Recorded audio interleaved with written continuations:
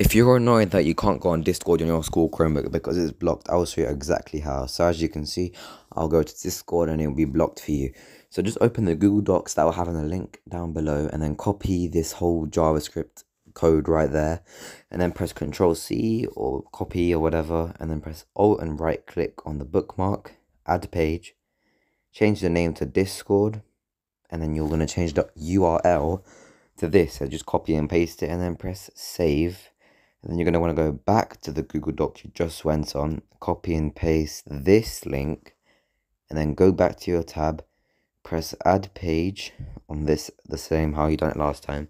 Say like Discord bypasser, redirector, unblocker, whatever you want really. And then just change the URL to the thing you just done right now, like the thing you just copied, the second one. And then press save.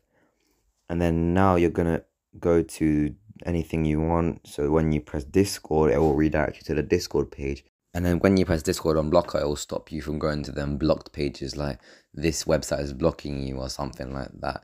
So then just press the Discord right there.